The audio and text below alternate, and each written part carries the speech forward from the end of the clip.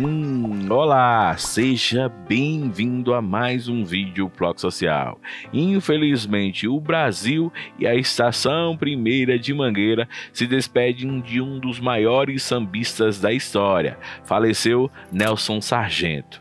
Curte, comenta, compartilha, não esquece, se inscreve no canal Bloco Social Notícias começando. Oi, gente. Morreu nessa quinta-feira, 27, o sambista Nelson Sargento, aos 96 anos de idade. Presidente de honra da Estação Primeira de Mangueira e autor de sucessos como Agoniza Mas Não Morre. A informação foi confirmada pelo Instituto Nacional do Câncer INCA, que informou a morte às 10 horas e 45 minutos dessa manhã. Sargento foi diagnosticado com um novo coronavírus na última sexta-feira, 21, quando foi internado no INCA. Além da idade avançada, Nelson também sofreu com um câncer na próstata durante anos.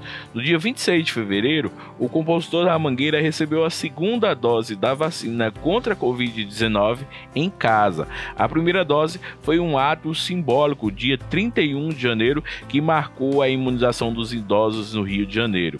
Uma das suas últimas aparições em público foi dia 12 de fevereiro no Museu do Samba, em um manifesto em defesa do carnaval. Bom, Nelson Sargento parte, mas com certeza sua história, seu legado fica para o samba, fica para a história dos negros brasileiros, para a história do carnaval brasileiro. E é com tristeza, mas a gente sabe que com a alegria que Deus vai receber esse grande nome do samba. Curte, comenta, compartilha, não esquece, se inscreve no canal Bloco Social Notícias.